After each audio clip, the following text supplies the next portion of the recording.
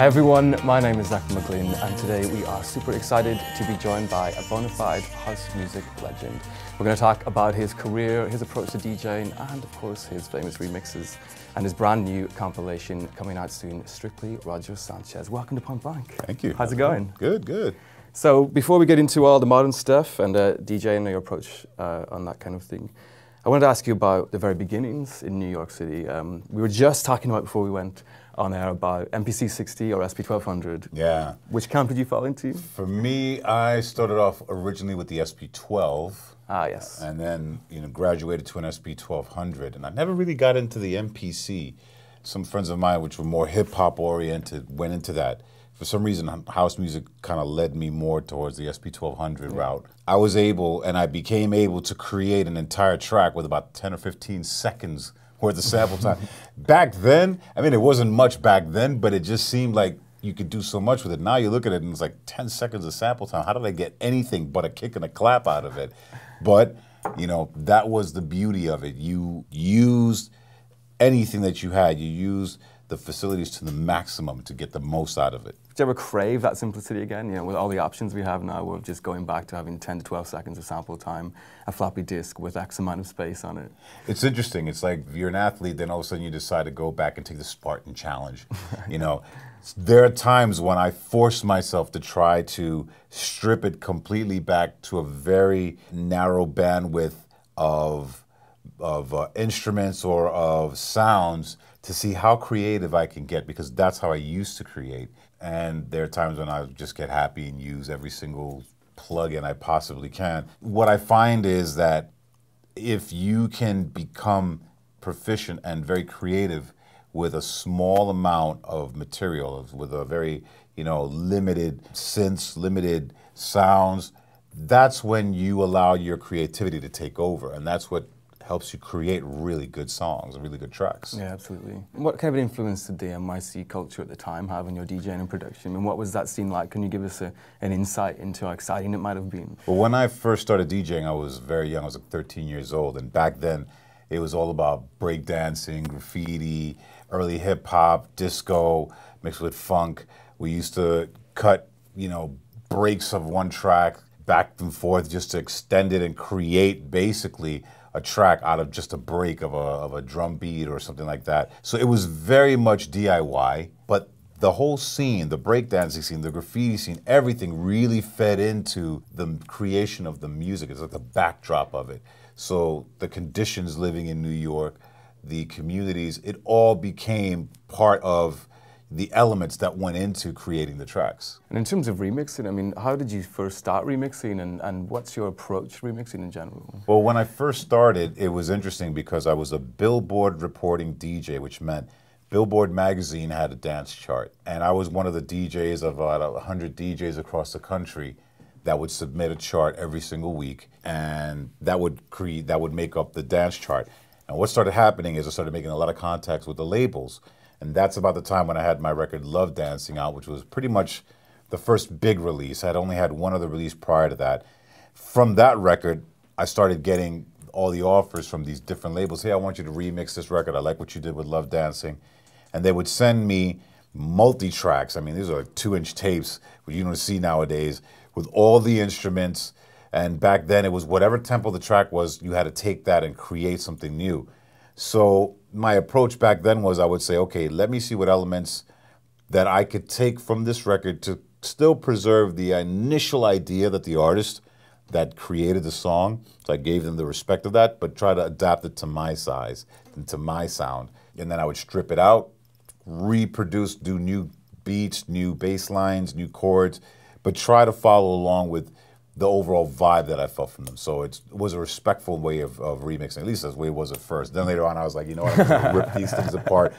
And just because you can now. Just because yeah. I can. And the thing is, the more I did it, the more people would ask me to do that. They, right. And it became so prevalent that at one point in time, the remixes that I would do would become the actual um, main versions. It happened yeah. when I remixed um, Incognito with Giving It Up. The remix Bluey was so impressed by the remix, he said, I want to make that my main version. So that was, you know, very, very cool. Back then it was kind of like a 12 inch culture as well, where some people wouldn't always put their names in a remix. The label would just get people like Dave Morales and things Yeah. like that to just mix it. Did you have that as well at the time? I started getting more remixes based on the work that I had done originally, all my original work, the things that I released on labels like Strictly Rhythm.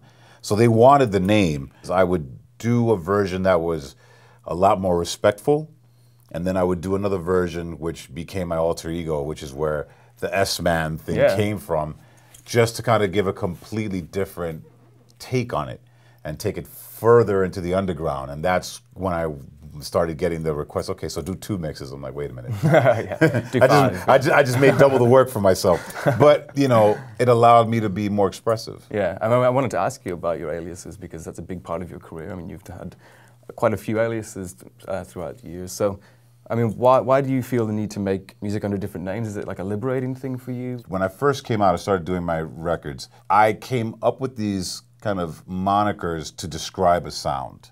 So if something would be a lot deeper, then I would come up with a particular name for it. The other thing that was behind it as well was at that point in time, the labels are trying to sign artists.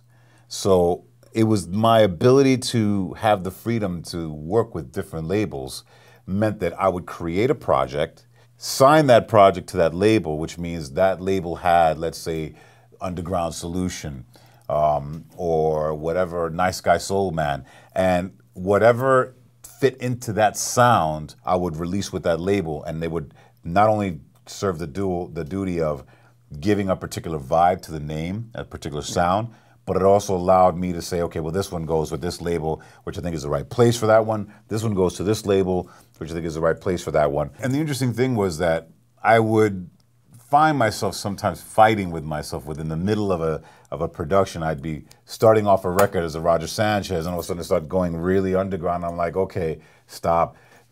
Let me take this production, set it aside, go back, retrace my steps, and take that on that journey, and then come back to this one and create a, a secondary production that would be the the alter ego version. But I wound up over time being able to identify each moniker with a particular aspect of my production. So I would try to narrow the field and, and just kind of be true to whatever it is I was doing, and and create that track based on that vibe. What's really interesting about that idea is that you were so prolific. I mean, a lot of the the problems that producers who are established and newer producers have is finishing music. Is, is start they start something, they get a beat going, and then they don't know how to take it somewhere. But you were in the process of making two or three w- versions of the same remix. I mean, how do you do it? Tell One- us. it- this is the interesting thing. When I first started producing records, it was literally just to have fun, create a beat that nobody had, played in the club. And because I, I only had rudimentary knowledge of, of how to operate things, I had a friend of mine that was in the studio kind of guiding me along and helping me along in the beginning. And then I started learning along the way. Um, and I had to pay for studio time. Ah, This is the interesting thing. when you have a limited budget and you have 12 hours and you have to pay X amount of money, you're gonna finish that track. You're gonna sit there and at some point in time, yo, you know what? That sounds good. Move on. Next thing, move on, move on, move on. And that practice, that discipline, helped me to learn how to make decisions. And this is what I find a lot of producers nowadays have a problem with.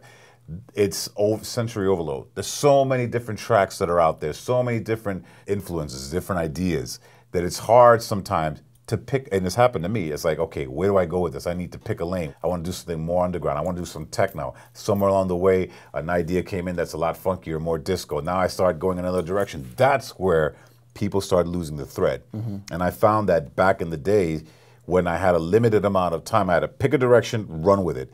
Because in about two more hours, that's it. Now you got to pay another day, another lockout, and then, you know, the tracks don't become cost effective. So for me, that's how I learned to finish tracks. And now I, I apply the same mentality, even though I, I have my own studio, but I apply that mentality of see it through, get it done, come up with ideas quickly, quickly sketch them out, and then you can go back and rework sounds. In terms of your studio, you mentioned hiring out bigger studios and also using the SP12. I mean, when did you start moving inside the box? When did you start thinking, okay, the computers and um, DAWs are the way forward? In the beginning, in the beginning, um, in the beginning, it was I started off in a box. I started off um, trying to get as much out of the SP1200. Um, that, I said, you know, first the SP12 in a friend's studio, and then it was um, a CZ101 keyboard, then a Juno 106. So everything was outboard. All the sounds you had to go to a specific, you know, keyboard or or synth rack or something. And then I started creating these tracks that were based solely in the SP1200. So it was samples. I would sample a bass line note and replay it. And that kind of helped me focus in the box. Then I started adding all the external pieces to it. And over the years, that's how I wound up building my own studio. I would see what I like in a studio that I would rent out, and I would say, okay, I want to go buy that unit, I'll go buy that unit. As I got more and more into the computer, all these synths that I'd spent a fortune on just started coming up as plugins. And it was a lot easier because then I moved from a desktop to my laptop because my touring schedule became impossible. I started seeing my output tail off. So I kind of had to find a solution to that. That's when I started working a lot more in the box. I started getting all the synths that I loved, finding the plug-in versions of it, and finding these other plugins that would, like, let's say, tube amplifiers that would emulate tube tech and warm it up. Mm -hmm. And that's how I kind of was able to recreate my sound, but do it in the box. And what are your go-to things now for things like drums production? You know, the interesting thing is I still have this drive that I just love just stealing kicks and snares from any single place I could find because it forces me to not do the same thing over and over again. So I will literally troll through all my tracks and just go through. Sometimes I find the breath between a snare and another snare. And I like the sound of that, and I'll layer that on a snare sound. And I have like six terabytes of different synths and sounds and and samples that I've collected over the years, plus kits that I get from every place. I just force myself to take time. One hour is going to be just to go through sounds. And your go-to setup right now is live rewired it, Logic. Right? It's Logic, and then I rewire Ableton Live through it. And the reason I do that is I've found the ability to create beats in live is so much faster, so much easier. The way the it locks loops right on beat, and then the ability to just really cut and move things around and and arrange is very very fast on Ableton. However, what I find is I have a lot more proficiency at actual keyboard work and recording vocals and Logic, and I like the sound of Logic better. So I'll create my loops in Ableton and it's great for auditioning sounds and effects, you know, because mm -hmm. it's mm-hmm. just that straightforward. And then I'll just do the kind of sketch of the beat arrangement as I go along, and then I'll bounce the stems out. And then from there, once I have my drums set, then I'll continue working in Logic. Yeah. And do you have any other go-to plugs that you always find yourself sticking on tracks? The uh, SubBoomBass is one of my favorite ones. I love the Rob, Rob Rob Papen has one of my favorite sounds. Like also in terms of reverbs, I always use the RP verb. That's like my go-to reverb. The SPL Bass Ranger is something that I use on my kicks and my bass lines to kind of fatten them up. Waves, I always use the Ultra Maximizer to get the most out of, not even just as an overall mastering tool, but I'll use it on certain sounds just to get the right sizing. And then I also use um, iZotope, the imager, just mm -hmm. to get that really big stereo sound on pads and and sometimes on background vocals. So those are kind of like my go-tos that I, that I use. I, they're always in my in my main rack. And in terms of DJ, I mean DJing culture uh, and technology has changed drastically since you started. Yeah. I mean, how have you found your personal experience with DJing evolve over time? Well, when I first started, it was just like everybody, you know, I had the Gemini mixer and two turntables. The Technics 100, they were belt driven with a dial. So the interesting thing is it was incredibly hard to keep a beat using a dial. Yeah. And it's funny, I find that the more challenging the technology is, if you learn how to master it, the next iteration becomes that much easier. So I went from two turntables once I got the, the Technics 1200s, then I graduated to three Technics, and I was able to play on three decks at the same time, and that was kind of like my thing. I had hip hop techniques because when I first started, you know, I was mixing hip hop with disco and funk, so a lot of cutting and scratching.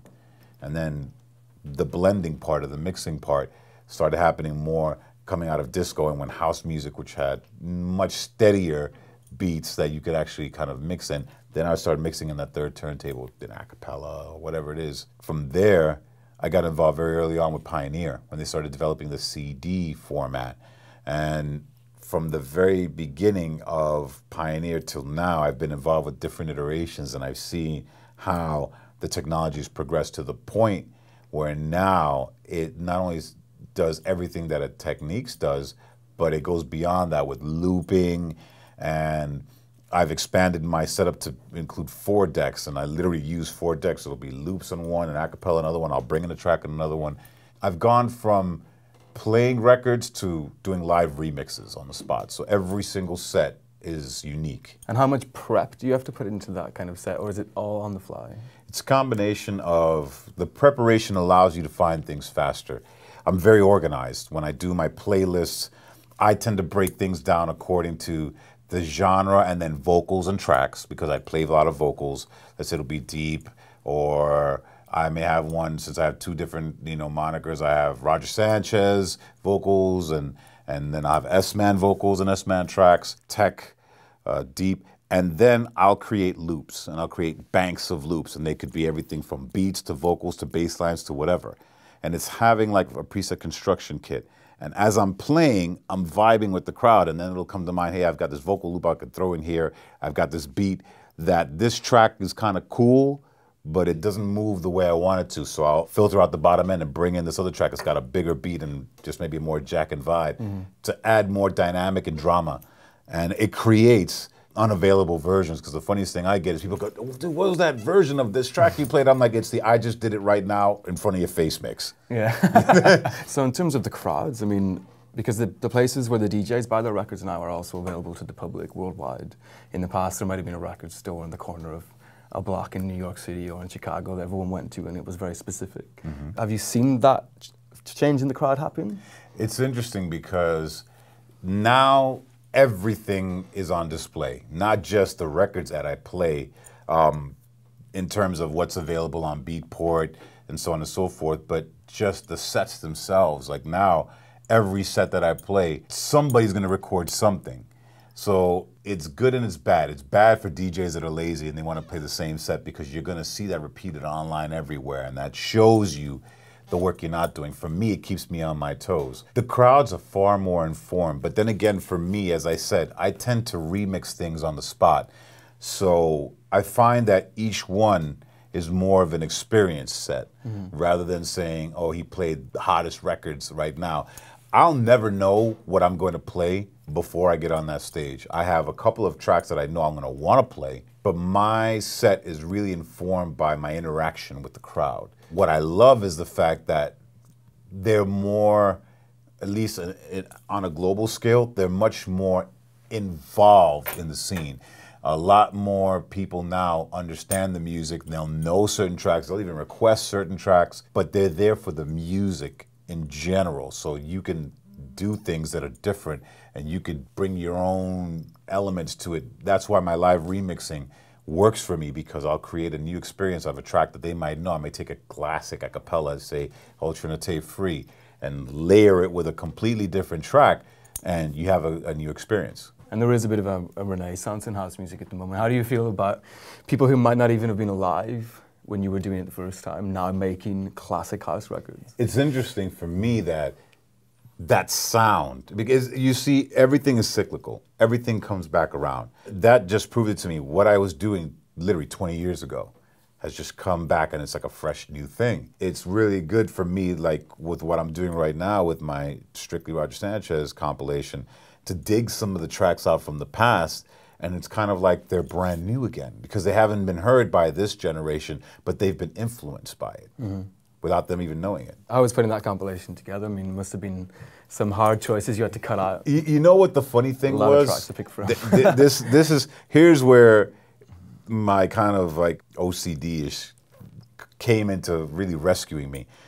What I try to do with this one, because I've done other compilations in the past of best of Roger Sanchez, we really tried to go in, and I say we because it was definitely a concerted effort with with Defected with Simon Dunmore, and he and I kind of bounce some ideas back and forth. But I try to go for the non-obvious tracks and the forgotten, more obscure tracks. What we found is a lot of the masters are not available anymore. But I have literally about 95% of all of the records I've ever done on DATs, and I have one functioning DAT machine, which is the digital audio tape and I was able to literally go in and bounce down these masters that were basically, and I've got a, a steel box case with all of my DATs, and I've just gone through them. There's some that I could that I couldn't find, so there are some tracks that I would love to be able to bring out, and then I just don't know where the hell they are, and the labels themselves don't even have it. But by and large, I had that massive collection of, of DATs, and I was able to pull a lot of tracks in. There's some good surprises on it. Just to finish, up, I mean, what would be your piece of advice for anyone who's just starting out as a DJ and producer now? I think the best thing I could advise people to do is really fall in love with music, do the research to create your own interpretation of it. So you could take influences from different artists and DJs, but you should filter it in your own way. And that's what's going to set you apart. And to really be diligent because this is like anything that it's like painting, it's like, you know, playing any instrument. You have to dedicate time to this in order to perfect your craft. Cool. Nice one, man. Well, thanks for Thank coming you. in. Thanks Pleasure. for having me.